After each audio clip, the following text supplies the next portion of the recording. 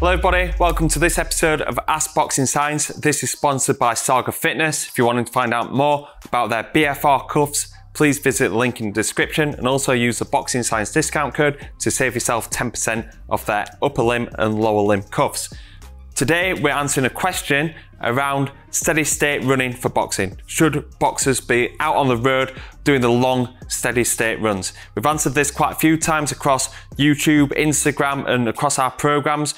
We believe that boxers should be performing high intensity interval training, sprint interval training and muscle buffering training as well.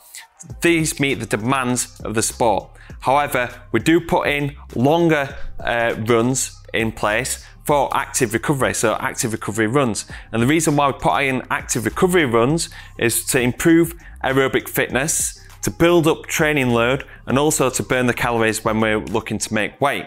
However, with active recovery runs, um, these can be tedious and boring uh, if you're going for a steady 30 or 40 minutes, but also um, it doesn't reinforce really good running technique when you're running at a, low intensity, you're just plodding. Um, and this like kind of running gait doesn't add as many physical benefits as the tempo runs as we're just about to introduce here, but also uh, it can create a bit of soreness, lower body, um, maybe if you're not opening up your hips, can create tightness in your hips and the lower extremities around the calves as well.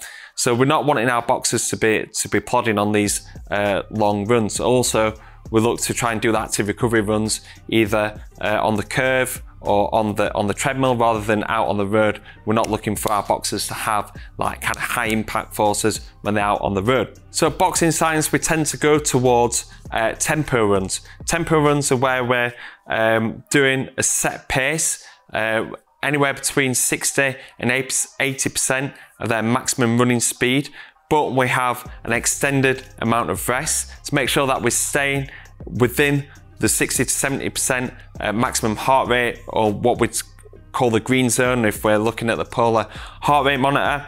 Uh, and th staying within this zone, even though we're going to higher speed, will help develop aerobic fitness, just like that active recovery runs. The difference with this is that we're looking to increase high speed running volume. This is going to be better because they've got a better running gait during the tempo runs in comparison to just a steady state run. Um, they're opening up the hips, they've got the knees in a higher position, they're also in a more upright posture, rather than just kind of going out and doing a plod. So a better running gait will um, like not have the associated soreness that you would do if you're just going out for a steady state run. Also, what this does is help build up uh, training loads, so high speed running loads and intensity. And this can help prepare an athlete going into uh, more intense running, let's say if they're doing sprint interval training or doing the repeated sprints and the muscle buffering capacity. Uh, the tempo runs are a great way to, to ease an athlete into it, build up their high speed running volume to then attack these training phases. Um, due to extended periods of recovery. Uh, we're going to go through the rest, uh, work to rest ratios uh, in the next section of this video. Um, they have low heart rates, so we're working uh, between 60 and 70% of uh, maximum heart rate, so that, this is developing aerobic fitness, but also uh, we're keeping the lactate, the blood lactate levels low. So we're saying below the uh, second lactate uh, turn point, lactate threshold. So we're not creating any kind of onset fatigue from the from these runs. These uh, sessions are also uh, more challenging, they're less tedious for the boxers, but also it all helps reinforce running technique on the curve, uh, especially when we're looking to do sprint interval training and muscle buffering capacity work we're looking at the physical adaptations, so wanting them to work at a speed that creates physical adaptation. This can be fatiguing and sometimes the technique uh, isn't as optimal. Whereas like when we're doing the tempo runs, because they're doing it at a low, lower intensity and, and with less fatigue, they're able to reinforce a really good running technique as well. So it's a great opportunity to be teaching the athletes a good running technique. So yeah, so there are all the benefits. Now we're going to go into some of the protocols that we use at Boxing Science. So in this video, we're going to be taking Lerrone Richards through a tempo run for boxing. This can be used as an active recovery session.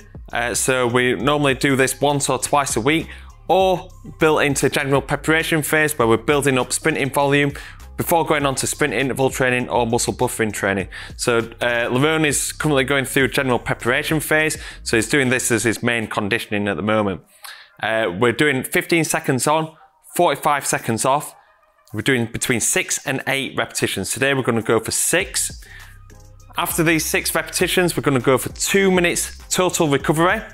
And then we're gonna repeat this three to four times. Today we're gonna go for four sets because we've uh, We've exposed Lerrone to this. This is his second session, so we're just upping the volume ever so slightly. We're going to be aiming between 60 and 80% of Lerrone's maximum running speed. His maximum running speed is about 33 kilometers an hour on the curve. Uh, so we're going to go between 19 and 22 kilometers an hour.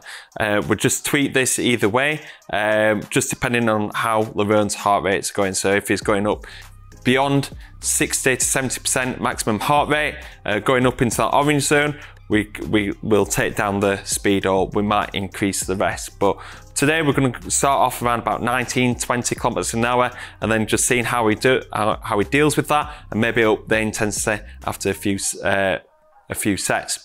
Okay guys, if you've got any questions about the tempo runs or any of our other conditioning sessions, please leave them in the comment box below. I hope you enjoyed the video.